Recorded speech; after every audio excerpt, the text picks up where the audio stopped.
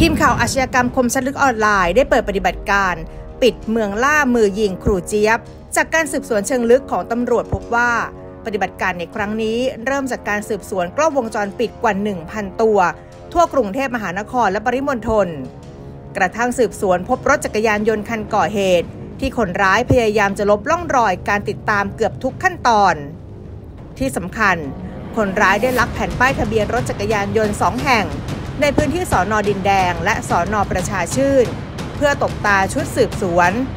มีการทิ้งจุดหลอกล่อให้ชุดสืบสวนเข้าใจผิด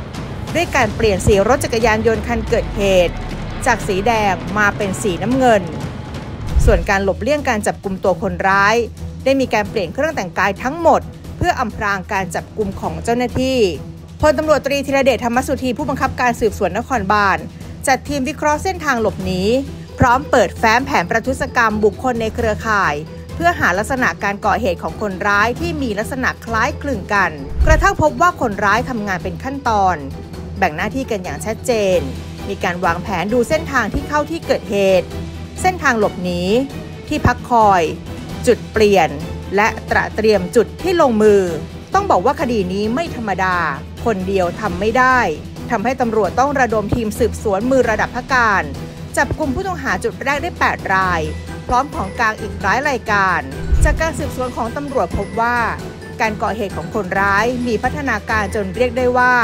เป็นองค์กรอาชญากรรม ไม่ใช่แค่ขี่รถจักรยานยนต์มาก่อเหตุ แต่นี่มีการวางแผนกันถึง 10 คน โดยมีรุ่นพี่เป็นพี่เลี้ยง มีกองทุนเพื่อหาอุปกรณ์ก่อเหตุ มีกองทุนไว้ประกันตัว จ้างทนายความมาต่อสู้คดีและที่สำร้ายที่สุดคือ เมื่อถูกจับกลุ่ม ในชั้นเบิกความจะมีพักพวกมานั่งฟังการไต่สวนของชุดสืบสวน เพื่อนำไปพัฒนารูปแบบการก่อเหตุไม่ให้ถูกจับกลุ่ม นี่จึงถือว่าเป็นองค์กรอาชญากรรมขนาดเล็ก ที่ทุกหน่วยของสังคมต้องร่วมมือกันป้องปราม เพราะหากเพียงกำลังของตำรวจก็ทำได้เพียงการจับกลุ่มปลายเหตุ ยากที่จะสะสางปัญหาที่สั่งสม และฝังรากลึกมาอย่างยาวนานได้